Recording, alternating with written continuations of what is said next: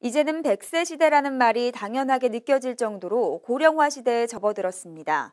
고령화 시대의 가장 큰 화두로 역시 노인 일자리 문제를 빼놓을 수가 없는데요. 경기도가 보다 현실적인 해결 방안 찾기에 나섰습니다. 박하나 기자입니다. 아늑한 분위기의 북카페. 원두를 직접 갈고 커피를 내립니다. 또 우유를 데워 멋진 작품도 만들어냅니다. 전문가의 솜씨를 뽐내는 이 카페의 바리스타는 모두 수원 시니어 클럽의 회원들입니다. 건강도 되고 취미 활동도 되고 자녀들이 너무 좋아하고 그래 이렇게 너무 좋은 걸 갖다가 우리만 하는 거 가지고는 부족하니까 다른 노인분들도 이렇게 다 같이 이런 일을 많이 할 수 있었으면 좋겠어요.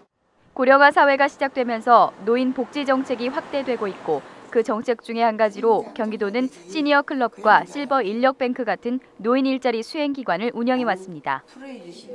이러한 노인 일자리 수행 기관을 보다 더 효율적으로 운영하기 위해 마련된 제11회 복지 경기 포럼 경기도 노인 일자리 수행 기관의 역할 정립이라는 주제로 진행됐습니다.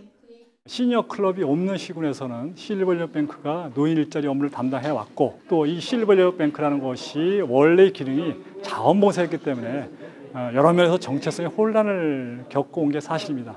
아, 이런 문제를 그냥 놔둬서는 안 되겠다. 이번 포럼에서는 노인 사회 참여 지원 기관이 갖춰야 할 역량과 강화돼야 하는 것들, 중점을 둬야 할 일자리 등의 토의가 진행됐습니다. 노인들이 일하는 것에 대한 국민들의 인식을 개선하는 문제가 중요하고요. 둘째는 노인을 위한 일자리를 많이 발굴해서 공공형 일자리 또 민간의 일자리 이런 걸 확대해 나가는 것이 중요하고요.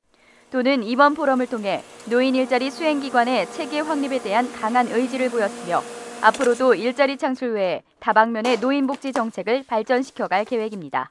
경기도의 노인복지 정책들이 잘 활용돼서 더 많은 분들이 힘차게 제2의 인생을 맞이할 수 있길 기대합니다. 경기주TV 박하나입니다.